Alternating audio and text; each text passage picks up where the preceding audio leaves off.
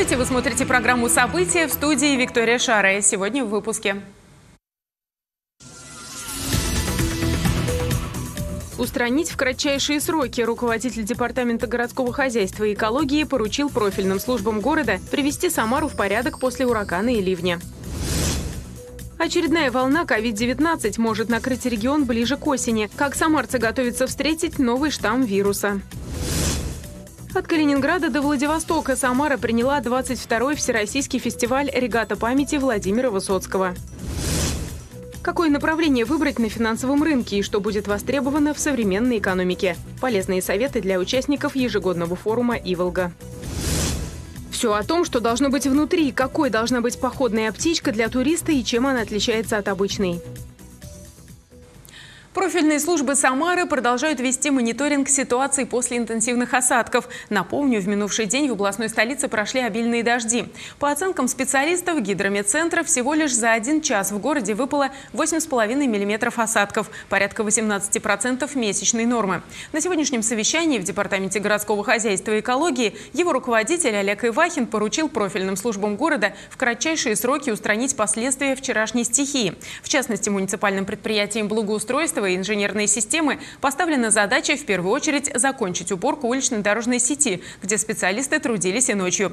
Профильные службы в течение дня должны убрать упавшие ветви и деревья. Также повышенное внимание уделяется состоянию общественных пространств, территории возле объектов социальной сферы и детских площадок. Специалисты отмечают, что система ливневой канализации находится в исправном состоянии. При этом поставлена задача еще раз проверить ее работу.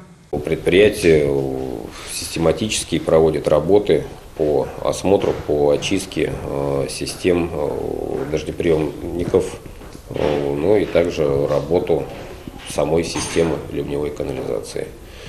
Там, где у нас есть районы, которые не оборудованы системой ливневой канализации, оперативно были направлены бригады с лососами для откачки воды с мест подтопления. Самарская область вошла в топ-10 по числу заражений COVID-19. Инфекционисты рекомендуют позаботиться о своем здоровье и сделать прививку. Подробности в нашем сюжете. Временное снижение заболеваемости COVID-19 – возможность встретить новую волну во всеоружии. По словам медиков, сейчас самое время для того, чтобы сделать прививку. Тем более, что у многих уже прошло полгода с момента последней процедуры. Прививочные кабинеты работают в прежнем режиме и готовы к приему пациентов. В четвертой горбольнице прививают ежедневно, без выходных с 8 утра до 8 вечера. Записаться на процедуру можно на сайте медучреждения или позвонив в регистратуру. Но если вы придете на прививку без предупреждения, вас также встретят и сделают вакцинацию информацию. Сегодня, конечно, у нас летний период, мы с вами встречаемся в такой хороший летний день.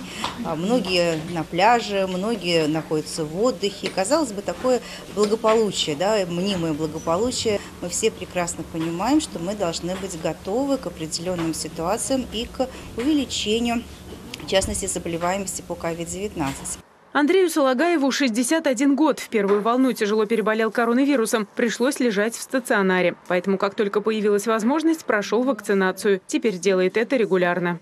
Получается четвертый вообще говорю укол, то есть я два раза, один раз делал две дозы, то есть потом делал одну лайтом, и сейчас опять-таки однократно прививаюсь только спутником практически без осложнений, то есть только немножко место укола некоторое время побаливало, а никаких температур, ничего такого не было. Ольга Страйкова сделала прививку и теперь, говорит, обрела уверенность. С момента последней процедуры прошло полгода. В семье Ольги прививаются все. Муж, свекор со свекровью, дочка и ее супруг. Первую, ну, и температура была, и тело ломило. Последующую хорошо перенесла. Первый раз спутник Ви двухкомпонентный – Второй раз спутник Лайт. У меня очень много сопутствующих заболеваний. Дети, внуки. Тоже как-то не хочется подвести семью. Особенно медики рекомендуют пройти вакцинацию тем, у кого есть хронические заболевания. Вакцины имеются в поликлиниках в достаточном количестве. Виктория Шара и Сергей Баскин. События. Российский ритейлер запустил пилотный проект по передаче продуктов со стекающим сроком годности нуждающимся. Речь идет о нескольких магазинах в Москве и Челябинске. В ходе тестирования проекта компания планирует наладить процесс сбора внутри магазина продуктов со стекающим сроком годности, обучить персонал и построить эффективную логистику по передаче продовольствия людям. По результатам пилота планируется масштабировать проект на магазины в других городах России, расширить категории товаров, которые будут передаваться в рамках фудшеринга, а также подключить к проекту разные торговые сети и распределительные центры компании. Перешагнув экватор, лето уверенно идет к финалу, но отпускники по-прежнему отдыхают на природе. Как себя обезопасить и что должно войти в походную аптечку каждого туриста, расскажем далее. Каждому опытному туристу известно, что отличный отдых начинается с хорошего настроения и с правильно собранного багажа. Чтобы путешествие прошло без негативных воспоминаний, необходимо позаботиться не только об экскурсионном маршруте. Самые практичные туристы уделяют особое внимание аптечке. К примеру, Даниил Давыдов входит в походы ежегодно на протяжении 20 лет. За это время он успел обойти немало живописных мест – леса, острова, горы. К подбору медикаментов в походную аптечку Даниил всегда относится очень очень серьезно. Говорит, никогда не знаешь, что может пригодиться в следующий момент. Аптечка у нас э, одна на двоих, на троих расчет всегда идет. То есть, э, чтобы не было там, что на 120 человек один пакетик. Берем с собой. Во время Советского Союза у нас был список такой. По нему идет основа, плюс дополнительные какие-то более современные препараты. Особое внимание, отмечает турист, стоит обратить на следующие препараты. Антигистаминные на случай разнообразных отеков, лекарства от отравления, заживляющие мази и, конечно же, знакомые всем с детства йод и бинт. Правда, по словам специалистов, аптечка вряд ли спасет, если туристы не будут соблюдать элементарные правила безопасности. Самый главный залог безопасности туриста – это его осознанное безопасное поведение. Наверное, все-таки самое главное сейчас – это безопасность на воде. Это первое, потому что здесь действительно есть риск для жизни. Вот из того, что мы знаем, все-таки подавляющее большинство и травм и практически все утопления взрослых, они связаны с потреблением алкоголя. Поэтому, конечно, туризм и алкоголь, они э, совершенно несовместимы. Даже в самую жаркую погоду специалисты не рекомендуют купаться в холодной воде. Контрастные температуры могут вызывать стрессовую перегрузку организма, вслед за которой может наступить неприятная летняя простуда. Людям, которые любят пешие походы, необходимо следить за водным балансом. Запасы воды нужно восполнять даже в том случае, если чувство жажды не преследует вас. Взрослый человек в летний период должен употреблять в день не менее 2,5 литров жидкости и не выходить под палящее солнце без головного убора. Даже такие простые рекомендации помогут сохранить настроение, здоровье и бодрость духа. Александра Гусева, Сергей Баскин. События. Им нельзя рвать свой парус. В Самаре прошла традиционная 22-я парусная регата памяти Владимира Высоцкого. Это соревнование проходит с 2000 года. Его автором был Всеволод Ханчин, который был и организатором легендарного концерта Владимира Семеновича в Куйбышеве. Какие сюрпризы преподнесла погода в нашем репортаже?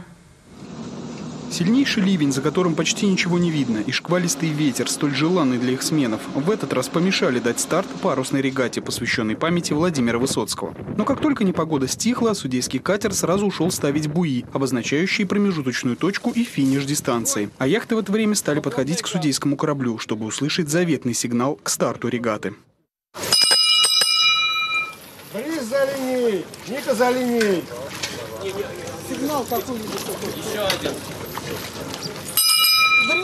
Традиционная парусная регата памяти Владимира Высоцкого проводится с 2000 года и неизменно именно 25 июля. Идея такого соревнования, которое входит в официальный календарь турниров Российской Федерации парусного спорта, принадлежит Всеволоду Ханчину. Именно он 55 лет назад был организатором легендарного выступления Владимира Высоцкого в Куйбышевском дворце спорта, обновленное здание которого будет носить имя знаменитого актера и автора песен. В свое время он был э, знаком э, с Владимиром Высоцким и ходил даже с ним на яхте. А мой отец мастер спорта по парусу, яхтенный капитан. Ему пришла в голову, чтобы песни Владимира Высоцкого, музыка звучали в парусах. Регата одновременно проходит в четырех городах. В Самаре, на Волге яхтам необходимо пройти небольшую дистанцию вдоль второй очереди Самарской набережной, поймав ветер в свои паруса, развернуться и вернуться на исходную позицию. Но задача оказалась непростой. После бури ветер стих и добавил сложности яхтсменам. Регата это короткая, в общем-то. Вот она идет на фоне города, опять же, чтобы для того, чтобы наш э, город видел все-таки парус и все вспоминали. На фоне города, вот между на, в районе второй набережной. Победители определяют в нескольких классах, в зависимости от типов яхт-участников. Награждение проводят на острове Голодный, где проходит и небольшой концерт с песнями Владимира Семеновича. Затем участники расходятся под парусами, чтобы начать подготовку к следующей регате. Андрей Горгуленко, Константин Головин. События. А в сквере Владимира Высоцкого накануне прошел седьмой городской фестиваль патриотической песни. На концерте, который длился около часа, выступили барды из Самары и Тольятти. Для многих Высоцкий стал импульсом к творчеству. Чем актер Стаганки зацепил жителей Самары, несмотря на разницу поколений, выяснил наш корреспондент. Это все могло бы быть со мной. Я считаю чудом, что живу. Тезка мой по имени и сердцу на чужой земле погиб в бою. Песню о войне тольяттинец Юрий Лившиц написал, вдохновившись творчеством Владимира Высоцкого, особенно его патриотическими стихами. Поклонник актера Стаганки – постоянный участник концертов, посвященных памяти Высоцкого, которые по традиции проходят в день его ухода из жизни 25 июля. Юрий Лившиц уверен, в песнях и стихах метра душевные и эмоциональные переживания человека. Владимир Семенович Высоцкий – это, это явление такое. О нем лучше не говорить. С ним живешь, чувствуешь, он, он в тебе, его уважаешь. Если можешь петь, не подражая, это очень здорово. Если не можешь, то лучше вообще не петь. Вот все.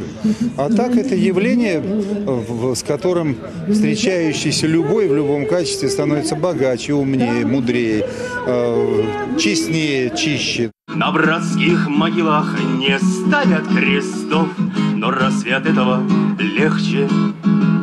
Молодежи тоже близок Владимир Высоцкий. Сергей Воякин поет не только его песни, пишет свои. В альбоме их уже около двух десятков. Но на концерте Высоцкого решил исполнить именно патриотические композиции. Владимир Семенович неспроста называют совестью русского народа. Для меня Высоцкий тоже, можно сказать, является духовным отцом. Я на гитаре научился играть э из-за того, что услышал эти песни, дворовый романс, да, или э, шуточные песни, спортивные, стихи очень хорошие и ну, в каждой можно найти что-то для себя. Седьмой городской фестиваль «Волга песни слышала» проходит по традиции в День памяти Владимира Высоцкого. Каждый год тема концерта меняется, ведь творчество автора было довольно разносторонним. Они удивительным образом подходят к сегодняшней ситуации, хотя написаны были не вчера, не сегодня, а 50 лет назад.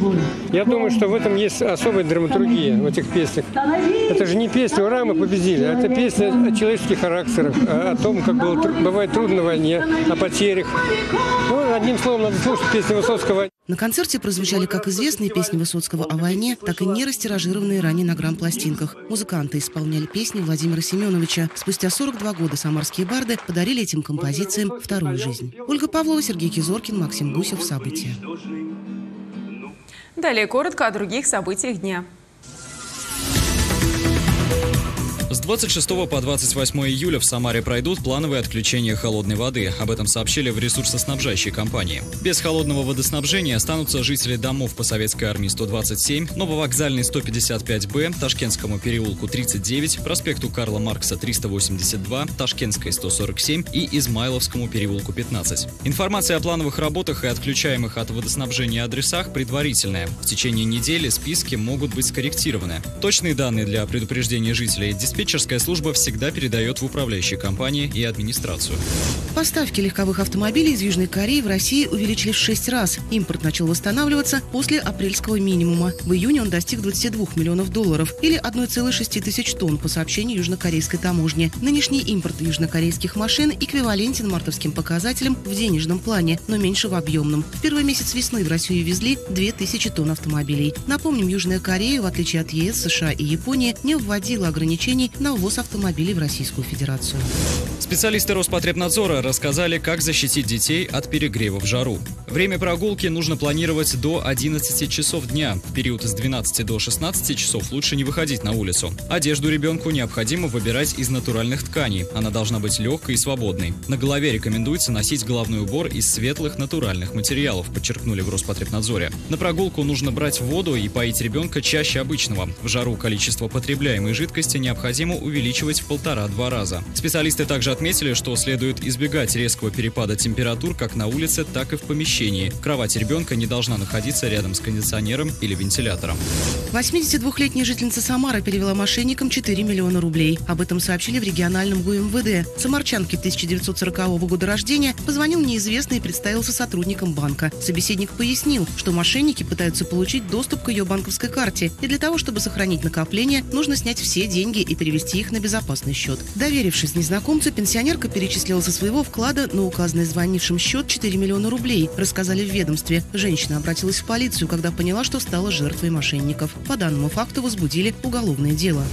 Шведская компания IKEA вновь запустила онлайн-распродажу на российском сайте. Доставка и самовывоз возможны в Самаре, а также в Москве, Санкт-Петербурге, Краснодаре, Екатеринбурге, Казани, Нижнем Новгороде, Новосибирске, Омске, Ростове-на-Дону, Уфе и прилегающим к ним территориям на расстоянии не более 50 километров от города. Онлайн-распродажа мебели и товаров для дома IKEA стартовала в России 5 июля. Позже IKEA дважды приостанавливала продажи, а также вводила электронную очередь и ограничения для пользователей сайта.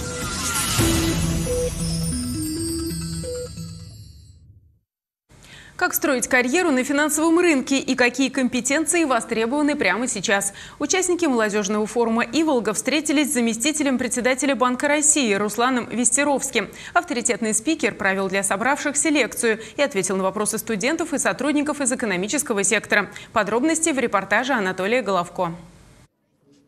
IT-индустрия, кибербезопасность – самые трендовые компетенции, которые пользуются широким спросом на рынке труда в экономическом секторе. На молодежном форуме «Иволга» работает делегация Центрального банка России, а сегодня на поляну приехал Руслан Вестеровский, заместитель председателя и член Совета директоров ЦБ РФ. Чтобы построить карьеру в мегарегуляторе финансового рынка, нужно приложить максимум усилий. Сейчас в Центробанке трудятся 45 тысяч сотрудников из 145 городов. По словам Руслана Вестеровского, Самара является донором кадрового потенциала России. Получая без бесценный опыт на берегах Волги наши сотрудники берутся за самые амбициозные проекты федерального уровня и занимают руководящие должности на новых местах. Сейчас в ЦБ работают более 9 тысяч молодых сотрудников. В год банк принимает в штат от 2 до 3 тысяч человек из числа талантливых выпускников вузов и молодых людей, имеющих опыт ведения бизнеса. Руслан Вестеровский признается, что построить карьеру в ЦБ может каждый, но для этого кандидатам необходимо постоянно инвестировать в себя. Получать качественное профессиональное образование, уметь работать в команде, научиться контролировать контролировать стресс и четко аргументировать свою позицию. Очень важно э, в процессе обучения пройти качественные стажировки и практики. Вот первые компании, организации, в которые ты попадаешь, создают правильный фундамент. Я в том числе буду рассказывать, как попасть в Банк России, как пройти стажировки, практики и получить первое предложение о работе от нашей организации. Представители Центрального банка России трудятся над реализацией нового амбициозного проекта «Цифровой рубль». Для этого к работе привлекают молодых специалистов-айтишников и экономистов. Среди участников форума «Иволга» оказалось огромное количество юношей и девушек, интересующихся финансовым сектором. Они специально выбрали время, чтобы лично пообщаться с Русланом Вестеровским. Я очень пристально слежу за деятельностью, за Банка России. В будущем я рассматриваю для себя Банк России как одно из мест работы, даже как, как какой-то лифт в будущее, как трамплин.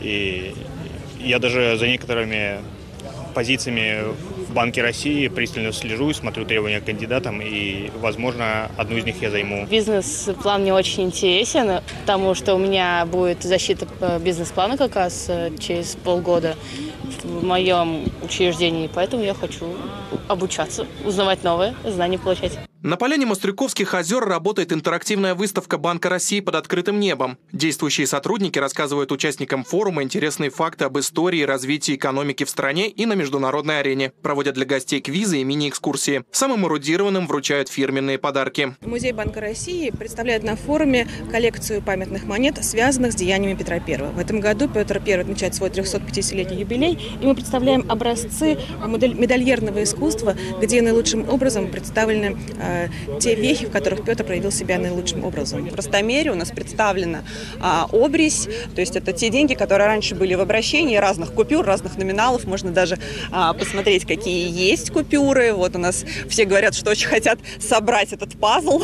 Всегда есть такие смельчаки. Юбилейный молодежный форум Иволга продолжается. Впереди участников ждут десятки авторитетных спикеров, мастер-классы, лекции, семинары и защита проектов. 28 июля пройдет торжественная церемония закрытия и подведения итогов. Вечером на главной сцене Поляны Мастрюковских озер выступит певец Нилетта. Анатолий Головко, Василий Колдашов. События. Крылья Советов приглашают болельщиков на первый домашний матч в сезоне. Баскетболисты Самары 3 на 3 выходят из отпуска, а самарский пловец стал лучшим в финале Кубка России. Об этом подробнее в нашей спортивной рубрике. Полузащитник крыльев Советов Александр Коваленко перешел в Сочи, но останется в самарском клубе, за который теперь будет выступать на правах аренды до конца сезона. Также самарцы в случае необходимости смогут продлить арендное соглашение еще на полгода. Это не последние изменения в составе, обещает руководство клуба. Спортивный директор крыльев Сергей Корнеленко отметил, что клуб продолжает селекционную работу, чтобы приобрести новых игроков. Тем временем стало известно, что билеты на матч с торпедо можно приобрести за символическую стоимость – 8 рублей в честь 80-летия клуба. Напомним, попасть на стадион можно только с оформленным оформленной картой болельщика.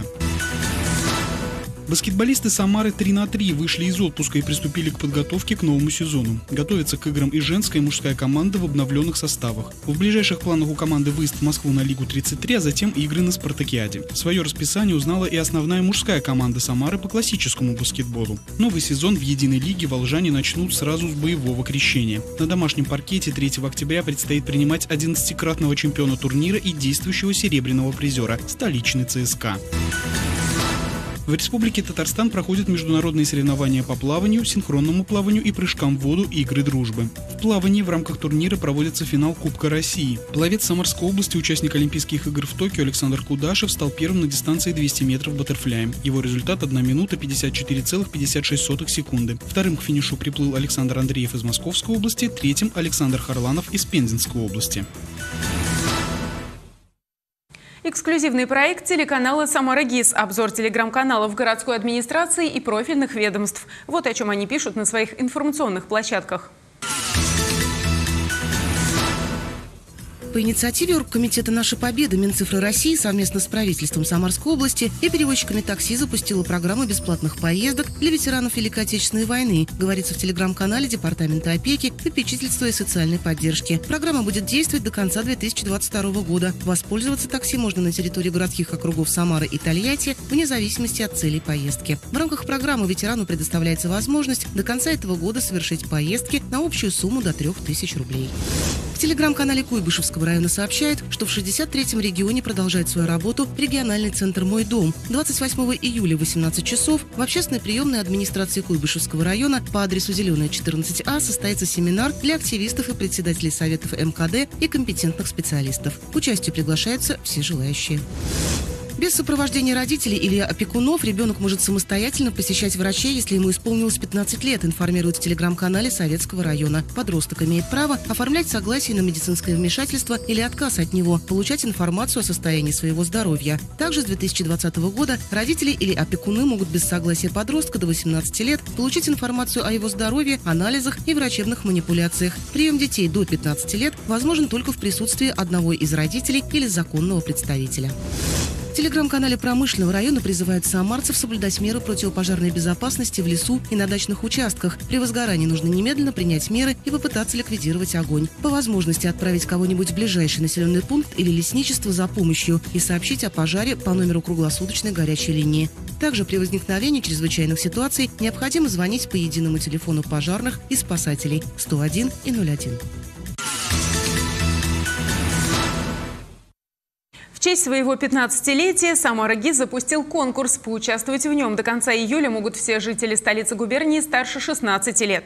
Условия просты. Подписаться на группы телеканала Самара ГИС в социальных сетях, прислать фото или видео поздравления на электронную почту, выложить фото или видео этого поздравления с хэштегом «Самара ГИС 15 лет» на своей странице во ВКонтакте. Подведение итогов конкурса 16 августа. Подробнее об акции и подарках можно прочитать на нашем сайте и на странице в социальных сетях. На этом пока все. Продолжайте следить за новостями на официальном сайте Самара ГИС, на страничках в Одноклассниках и во Вконтакте. Выпуски новостей смотрите в социальных сетях. Всего вам доброго и до встречи!